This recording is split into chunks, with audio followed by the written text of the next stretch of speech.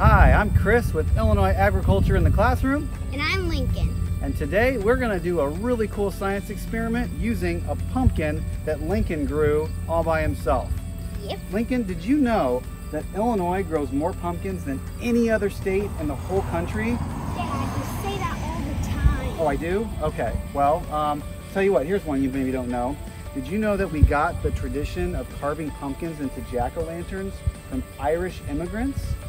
Did not know that. Yeah, when they first came to our country, they had a tradition of carving faces into turnips. When they got to America, they found pumpkins and realized they were much easier to carve, and so we now have a tradition of making jack-o'-lanterns. So the first step that we're gonna do with our experiment today is we're gonna carve this pumpkin into a jack-o'-lantern.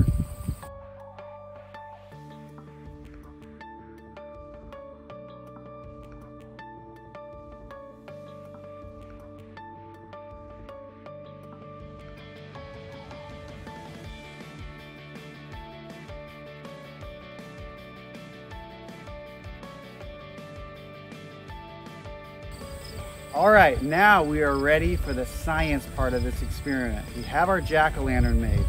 We have a, a small cup inside the jack-o'-lantern, and into that cup, I put one cup of hydrogen peroxide. This is 12% hydrogen peroxide. This is much, much stronger than the stuff you'll find in your medicine cabinet. Uh, you can buy it at beauty supply stores. We got ours online. So we have one cup of hydrogen peroxide. Into that, Lincoln is gonna pour two tablespoons of dish soap.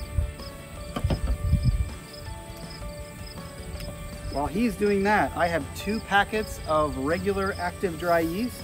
I'm gonna pour those two packets into six tablespoons of warm water. I'm gonna stir this, and then Lincoln is gonna take some green food coloring, And put it in there. and then you're gonna drop a few drops of that green food coloring into there. Now, is it time? We're almost there. Uh, so, are we gonna just pour that in and then it will start? It should, yeah.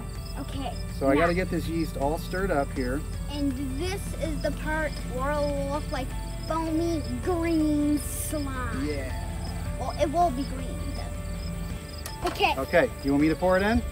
Yes. Okay, so we did it right. We should see a vomiting pumpkin here. Okay, give me a countdown here. One, two, three.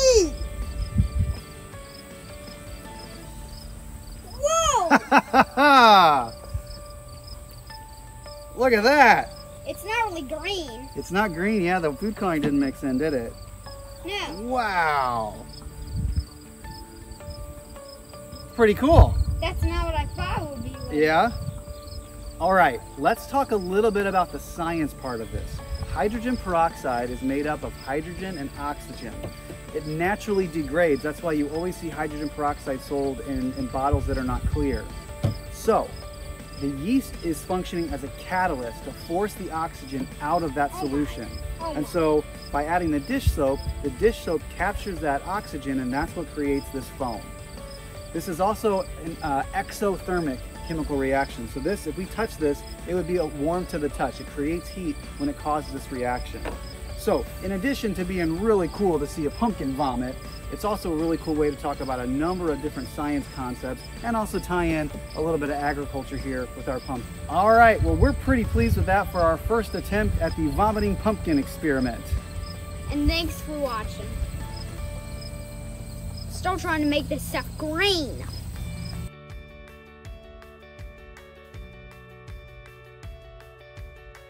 Maybe what would have been really cool is if we poured it and then we quickly put the lid on. Oh, and forced all of it to come out the front? Yeah. That's a cool idea, yeah. Maybe Yeah. the next time we'll try that.